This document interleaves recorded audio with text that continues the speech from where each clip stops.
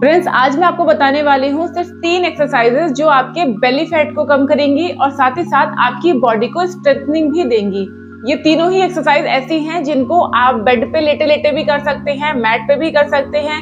ये जो भी वर्कआउट आप डेली करते हैं, उसके बाद में सिर्फ़ पाँच मिनट अगर आप ये एक्सरसाइज करेंगे तो आप देखेंगे बहुत तेज़ी से आपका बेली फैट भी कम होगा और आपकी कोर मसल्स भी स्ट्रेंथनिंग होंगी। तो चलिए देख लेते हैं कि किस तरीके से आपको ये एक्सरसाइज करनी है। फ़र्स्ट एक्सरसाइज करने के लिए इस तरीके से पोजीशन लेंगे। सबसे पहले ऐसे बैठ जाएँगे। अब अपने एल्बोस को इस तरह से रखेंगे अपनी नी के पास में। ऐसे हाथों को सामने की तरफ़ ऐसे खोलेंगे। ऊपर इस तरीके से उठ जाएँगे। ठीक है, ना ही तो हाथ आपके बहुत आगे जाने हैं, ना ही आपके पीछे रहने बिल्कुल इस तरीके से शोल्डर के नीचे आपको रख लेने हैं।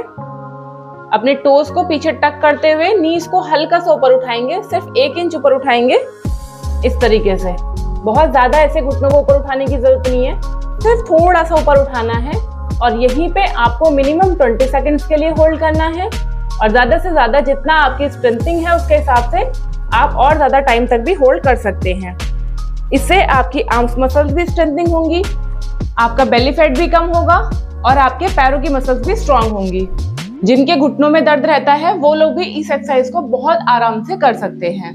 अब देख लेते हैं हमारी दूसरी एक्सरसाइज सेकेंड एक्सरसाइज करने के लिए इस तरीके से हाथों को सामने की तरफ़ रखेंगे। ऐसे पैरों को इस तरह से पीछे, पैरों के बीच में थोड़ा सा गैप देंगे और इस तरीके से शोल्डर को थोड़ा इस तरीके से रोल करेंगे और ऊपर की तरफ़ बॉडी को रखना है। ना तो इस तरह से होना चाहिए, ना ही आपको बिल्कुल ऐसे रखनी है। बिल्कुल ऐसे ऊपर की तरफ़ आपको रखना है। इस तरीके से। कमर को सीधा रखेंगे हिप्स ऊपर की तरफ़ रहेंगे, ऐसे डिप नहीं होनी चाहिए। और यहीं पर आपको कम से कम 20 सेकंड्स के लिए होल्ड करना है और फिर धीरे धीरे टाइमिंग्स को आपको इंक्रीज करते जाना है। ये एक्सरसाइज भी आपकी कोर की मसल्स को स्ट्रॉन्ग बनाती है, आपके बेली फैट को रिड्यूस करती है, आपके आर्म के फैट को रिड्यूस करती है और आपको जो सेगी ब्रेस्ट का प्रॉब्लम होता है, उसको रिड्यूस करने के लिए भी एक्सरसाइज बहुत बढ़िया है। अब हम देखते हैं हमारी थर्ड एक्सरसाइज थर्ड एक्सरसाइज करने के लिए इस तरीके से?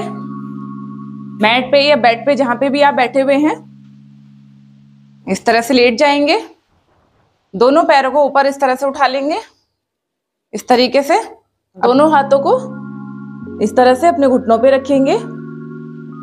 और यहीं पे आपको मिनिमम ट्वेंटी काउंट्स के लिए होल्ड करना है, और फिर धीरे धीरे टाइमिंग्स को आप इंक्रीज कर सकते हैं। जब इस तरीके से हम होल्ड करते हैं तो आप देखेंगे आपकी जो कोर मसल्स हैं एकदम टाइट हो जाती हैं, यहाँ पे है, काफ़ी प्रेशर अपने पेट पे आपको महसूस होता है। इस तरीके से आप इन तीनों एक्सरसाइज को अगर 20-20 सेकंड्स के लिए सिर्फ़ तीन बार होल्ड करते हैं तो ये आपके बेली फैट पे बहुत अच्छा असर डालता है, आपकी स्ट्रेंथ और आपके स्टेमिना को भी इंक्रीज करता है। आई होप कि आपको इन्फॉर्मेशन और एक्सरसाइजेस ज़रूर पसंद आई होंगी। इस तरीके की और वीडियोस देखने के लिए चैनल को सब्सक्राइब कर लीजिए नोटिफिकेशन बेल को प्रेस कर लीजिए। अपना ध्यान रखिए, खुश रहिए फिट रहिए। Thank you